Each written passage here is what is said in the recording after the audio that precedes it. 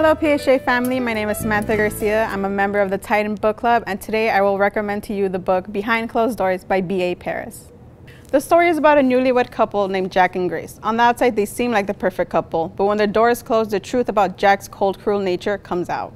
The story goes back and forth between past and present. To find out if Grace escapes Jack, join the Book Nook and check out Behind Closed Doors at your library today.